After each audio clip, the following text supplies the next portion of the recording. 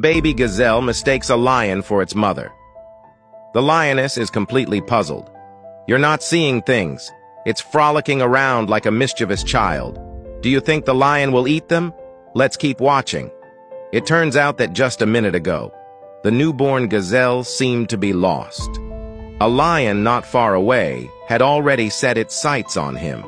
In the blink of an eye, the lion immediately launched an attack. The gazelle hesitated for a moment and took off running, but he was no match for the lion.